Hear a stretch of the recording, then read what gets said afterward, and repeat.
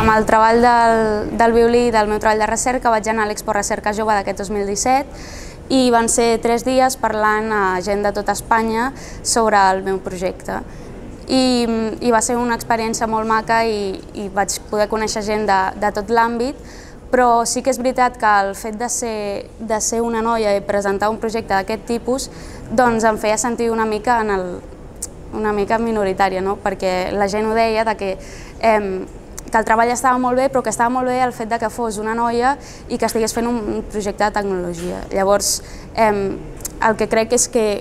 realment el que s'hauria de promoure és que els treballs és igual qui els faci, si un noi o una noia, perquè realment el valor és el del projecte en si.